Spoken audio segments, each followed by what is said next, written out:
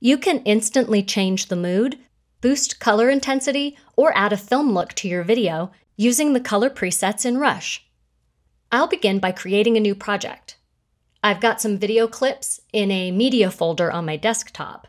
So I'll select the hillside road clip and the extreme wide shot, then the rider on the bridge, and finally the close up of the woman.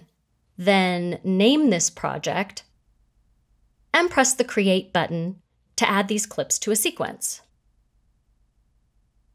As I scrub through these clips in my sequence, I can see they look pretty good, but I think they'd really pop with some color enhancements. So I'll go up to the color panel and try using some of the built-in presets. The lighting is really different in each clip, and by adding a film preset, I might be able to quickly unify the look of this series of clips.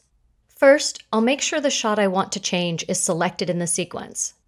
With the playhead right over the shot I want to adjust, I'll choose the film preset. That's a pretty subtle change. Let's try something different.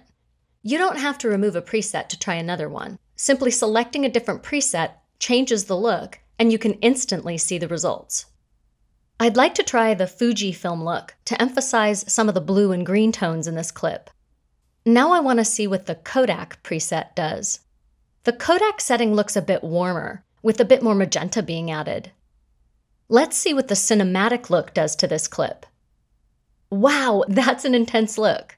It's moody and I like it, but I think I'll tone it down a bit using the intensity slider at the bottom of the preset panel. I think an intensity setting of about 35 looks good.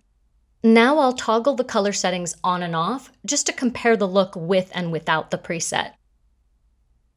So I like this look best when its intensity is reduced, and I want to be able to quickly apply this to other clips. I'll go up to More Options and choose Create Preset. I'll name the preset and press Save, and it will be available under Your Presets in my color panel, so I can apply it to other clips. When I apply my custom preset to this last clip, I think it looks too saturated. Even when I pull the intensity slider to the left, her skin tones just don't look natural. I can set this clip's preset to none, which removes the color settings. Or if I wanted to desaturate this clip a bit, I could add the mono preset and back off on the intensity slider until I get a nice natural looking skin tone. When I find a look I like that works with my video clips, I just save another custom preset.